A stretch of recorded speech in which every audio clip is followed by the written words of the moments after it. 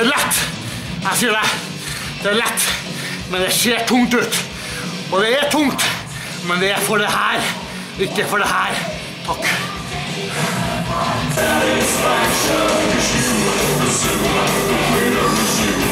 That's